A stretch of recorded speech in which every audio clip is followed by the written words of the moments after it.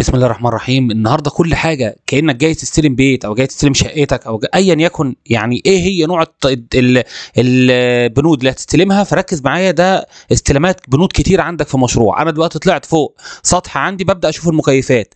المكيفات طبعا بالطريقة دي ما ينفعش أستلمها. لازم تكون النحاس كله يتحط على cable tray لازم يكون آه، ال cable tray كله مقفول. لازم كل ال- ال- المكيفات تكون متوصلة آه، سواء كهرباء أو سواء صرف. ولازم تكون متثبتة على الأرضية ويتحط لها rubber زي ما إحنا شايفين. ففي مكيفات محطوط لها rubber وفي مكيفات مش محطوط لها rubber عشان خاطر ال vibration والاهتزاز والصوت. كل الكابلات ده أنا ما أقدرش أستلمها. ليه؟ لازم تكون مرصوصة تمام. الجزء اللي أنت شايفه ده منور ال- الخاص بالدهانات بتاعه ال- المشروع. فبرضو أنا لازم أبص على جزء جزء عندي في ال- الدهانات عندي وأتأكد إن مفيش أي مشاكل فيها. الإضاءة بتاعه الدروه الهوايات زي ما أنتم شايفين الهوايات بتاعه ال- الحمامات. لازم أتأكد الإضاءة بتاعه الدروه عندي كلها منتهية ولازم أستلمها بنفسي وأشيك عليها بنفسي. الجرجوري أو الصرف بتاع المطر لازم أتأكد الصفيات بتاعه المطر كلها موجودة. لازم أتأكد إن ال- المواسير سواء للتكييف أو سواء للكهرباء أو سواء للدش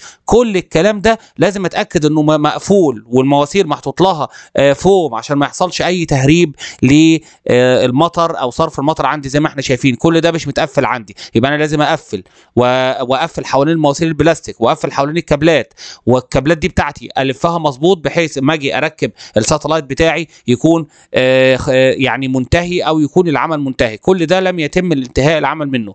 أي مواسير زيادة لازم تتشال ولازم تتقفل عشان ما يحصلش أي تهريب لأي آه، صرف مطر عندك أو أي مطر لا قدر الله هيجي عندك في الملحق. اتأكدت إن كل ماسورة عندي فيها قاعدة. هنا الصواعد دي لازم تتقص ولازم أحط الهوايات بتاعها. هشوفها هل دي بتاعة تكييف ولا هل دي آه، هواية لإحدى الحمامات؟ لازم آخد أكشن فيها. تتشال ويتحط لها هوايات زي ما إحنا شايفين. آه، هنا الصواعد دي كلها. ال cable tray لازم اتاكد ال cable tray لو أنا هعمل حاجة داخليه. طب أنا باجي ابص هنا دخلنا على بند تاني الوزره. الوزرات تلاقي الدهان عندك مش مظبوط.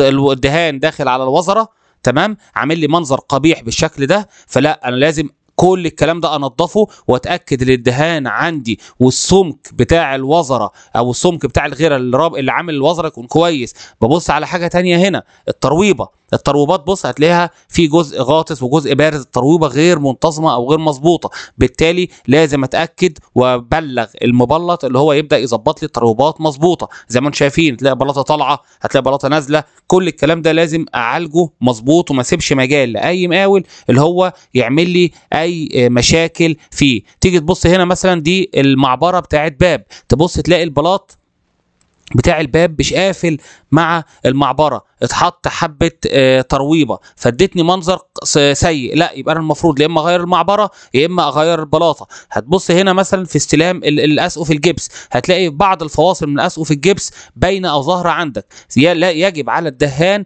اللي هو يظبط الفواصل دي ويكحتها مظبوط ويحط ال tape بتاعه مظبوط عشان تتأكد اللي كلها جاية مية واحدة وما تبانش عندك الفواصل بتاعة ال- ال- الدهان. برضو زي ما أنتم شايفين حوالين ال spotlight والشخص بيركب بتلاقي أخرام موجودة. فلازم كل الكلام ده يتقفل عن طريق الدهان. هنا نفس الطريقة برضو. الترويبة أو البلاط لو لقيته مشرشر أو لقيت بلاطة داخلة عن بلاطة أو بلاطة طالعة عن بلاطة لازم آه تجيب المبلط يظبط لك الكلام ده.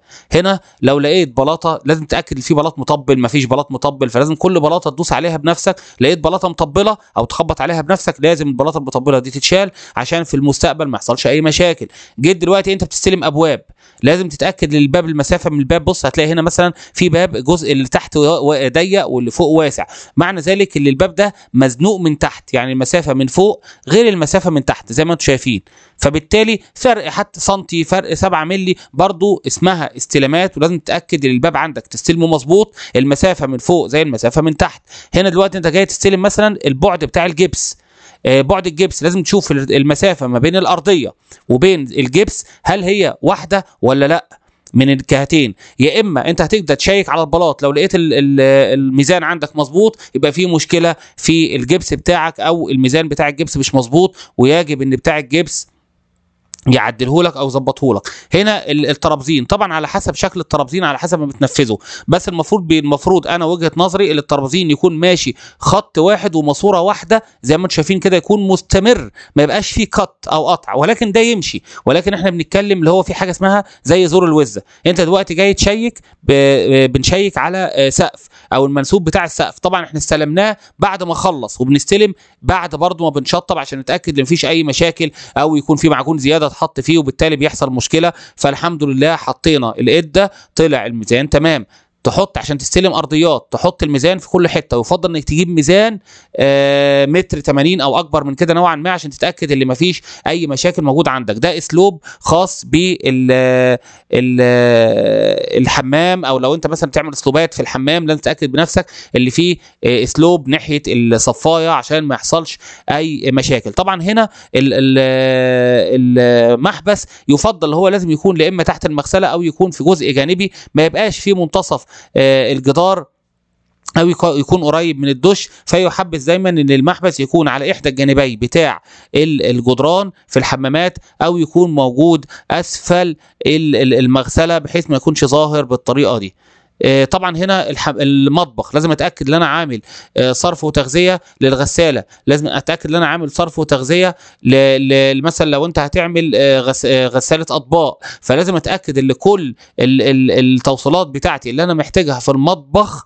تمام آه، مظبوطة عندي وكلها مش هبدأ أعمل track بقى وابدا أعمل وصلة آه، مختلفة. هنا ما تيجي تستلم ال- آه، الأفياش والمفاتيح بص هتلاقي المسافة مختلفة بين الفيشة والمفتاح بالتالي كده في مشكلة لأن المبلط قص غلط. وبالتالي لازم لازم تظبط البلاطة دي وإن الم- المسافات ما بين آه، الفيشة والمفتاح يكون connector هنا ده لازم تستخدم سيليكون يكون مضاد للبكتيريا. لو انت هتعمله في المغسلة أو هتعمله حول الشاور عشان المية بعد كده لا قدر الله لو حصل آه، تعفين أو عفانة آه، في ال- البلاط أو أو المية نفسها تفاعلت مع السيليكون ما يحصلش أي ميكروبات. دايما كنا بنتكلم على التشطيب ما بين الرخامة وبين ال ال ال القلبة بتاعت السلم. لازم تتأكد تماما إن التشطيب عندك هنا مظبوط ما تلاقيش جزء مدهون على الرخامة وجزء التاني مش مدهون. وأنا وجهة نظري وأفضل دايما للرخامة بتاعت السلم تكون طالعة 2 سنتي أو 1 سنتي نص نص برمة كده بحيث ما يبقاش فيه كونكشن أو نقطة التقاء ما بين الرخامة بتاعه السلم والدرجة أو القلبة بتاعه السلم بتاعي.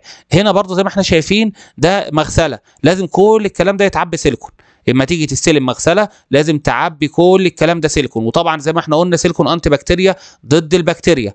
عش- عشان أنت تثبت ال- ال- ال- المغسلة بتاعتك يبقى المغسلة بتاعتك ثابتة وما يبقاش في أي تسريب آه، لأي مية. بتيجي تستلم برضو آه، سواء في في سيراميك أو سواء في في جدران استواء أو ال- الزوايا القائمة بتاعة الجدران. لقيت في فرق يمشي حاله okay. ما يمشيش حاله طبعا ده هيأثر معاك في الأرضية هيأثر معاك في ال ال آه، الجبس.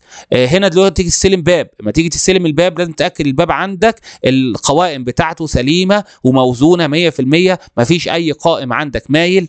وبالتالي أنت كده تتأكد إن الباب بتاعك سليم سواء القائم اليمين أو القائم اليسار والمسافة ما بين القائمين من فوق والمسافة ما بين القائمين من تحت. هنا لما تيجي تستلم آه، ألمونيوم أو شبابيك ألمونيوم طبعا ال- المقاول بيكبر دماغه بيركب لك الشباك وبيعمل لك ال frame مش مظبوط فتلاقي ال frame هنا مش قافل معاك. تيجي تشيل ال sticker تلاقي frame طالع و frame داخل لا هو عرف يظبطه مظبوط ولا هو عرف يقفله مظبوط. وأما جه قصه الشرشره بتاعه ال- ال- الالومنيوم ظهرت عندك وبالتالي ما بقاش فيه مشكلة. شايف ده مظبوط مفيش مشاكل فيه. إنما كتير جدا بيهملوا البرواز بتاع الباب أو بتاع الشباك الالومنيوم وبالتالي ده بيكون حاجة finishing أو ال quality بتاعته بتكون سيئة وبتأثر على سمعة المصنع اللي بيركب. برضو لازم أتأكد الاستواء بالميزان عندي اللي هو مركبه مظبوط مش مش مايل عندي. وبالتالي طبعا ده عن طريق الميزان. برضه دي الأفياش والمفاتيح برضو الخاصة بالكهرباء لازم اتاكد إن هي كلها على خط واحد. المسافات ما بينها كلها مظبوطة كلها على ميزان واحد يبقى أنا كده استلمت شغلي مظبوط وتأكدت الشغل الكهرباء عندي مظبوط. زي ما إحنا أهو بنشيك على آه فيشة فيشة على مفتاح مفتاح المسافة ما بينهم مظبوطة الميزان آه مظبوط يبقى أنا كده أعمال الكهرباء عندي مظبوطة. طب أنا دلوقتي شفت الممرات أو الارتدادات بتاعه ال- ال- ال- المشروع بتاعي. لازم أتأكد اللي فيه فواصل تمدد دي رقم واحد. لازم أتأكد ان الوزرة آه، بتاعتي البورسلين تكون مظبوطة مع التشطيب بتاع ال- الواجهات أو بتاع السور تكون مقفولة سواء بترويبة أو سواء باسمنت أبيض على حسب التشطيب بتاعك عشان أطمن وأتأكد إن مفيش أي مشاكل هتحصل معايا أو أي آه، تطبيل لبلاط أو طبعا لو ما عملتش فاصل تمدد هتحصل مشكلة كبيرة الب- البلاط ممكن يطلع نتيجة التمدد والانكماش لأن ده معرض آه، للشمس. أنت جيت دلوقتي است- آه، استلمت حجر دي بند تاني. لازم تتأكد ال frame بتاع الحجر مظبوط عن طريق ميزان المية. كده هو مركب frame الحجر مظبوط. طيب لازم أتأكد frame frame ومكان مكان أتأكد اللي كله مفيش أي مشاكل فيه. هنا بص لازم برضه أتأكد والمفروض لو أنت مثلا عندك ال frame ده مستمر معاك من فوق لازم أشد أشد خيط من فوق لتحت وأتأكد إن مفيش مشاكل عندي. كده إحنا شيكنا هنا لقينا مفيش مشاكل. هنا برضه الجزء الديكوري اللي فاصل ما بين الجرانيت بتاع الأرض بتاع ال- ال- الواجهة وما بين الدهان. لازم أتأكد هو كله على خط واحد. بلمح بعيني كده وبشد خيط وأتأكد لأن دايما نقط الالتقاء بين القطع بتكون ضربه شوية لبره فبالتالي لازم أكلم ال- ال- ال- المقاول يظبطها لي. طبعا هنا برضو نقطة الالتقاء ما بين الحجر وبين الدهانات لازم تكون مظبوطة. أتأكد عندي ان الإضاءة متوزعة بانتظام سواء الأبليك سواء ال ال ال اللي هو السبوتات العادية. لازم كل ده اخد بالي منه وأنا بستلم. هنا الواجهة لازم اتأكد ان المسافات ما بين لو انت هتعمل اضاءة المسافات ما بين الواجهة ال- الاضاءة وبين ال- ال frame الحجري كلها متساوية. الاضاءة كلها مفيش اي مشاكل فيها. كلها على خط واحد سواء الحجر على خط واحد أو استقامة واحدة. بعد وحدة الإنارة عن الحجر على خط واحد. ال- ال- الدهانات ال- ال profile السوداء اللي إحنا عاملينها نتأكد اللي هي مش مش جاية في ملطش من الحجر أو الملطش الحجر متبهدل آه، منها أتأكد الشبابيك عندي كلها متركبة ومفيش مشاكل فيها وطبعا لازم أنضفها تنظيف آه، تام. عشان طبعا دي الواجهة آه، بتاعتك. أتأكد إن ال profile بتاعي واخد نفس الملبس ونفس ال texture ومنتهي تماما من بداية الديكور الحجري لنهاية الديكور الحجري. يبقى أنا كده شيكت على الواجهة بتاعتي وتأكدت إن كل شغل تمام وتأكدت إن كل بنودي تمام. فأتمنى إن شاء الله الحلقة تكون عجبتكم طويلة شوية بس آه، إن شاء الله تكون مفيدة. والسلام عليكم ورحمة الله.